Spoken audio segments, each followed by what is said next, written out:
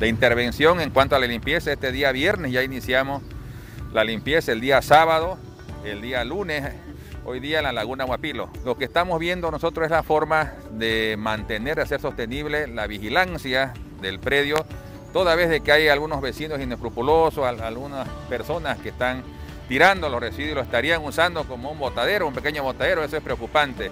Por lo tanto, nosotros, tengo entendido, ya se coordinó para que vea la forma de hacer un cerramiento de la laguna en sí, de que haya la vigilancia correspondiente, ¿no? Para, para de esa manera evitar, tanto en la zona norte y en la zona sur de la laguna, que se tiren los residuos. Se han retirado llantas, son cerca de mil llantas que se han retirado del predio, eh, escombros, entre escombros, el tema de palizadas, en tema de plásticos, en fin, de residuos electrónicos también que hemos podido encontrar y se ha hecho retiro correspondiente, son cerca de 50 volquetadas, que son unas 300 toneladas más o menos de basura. Tenemos el 347-0346, que es un número donde el vecino puede hacer la denuncia correspondiente.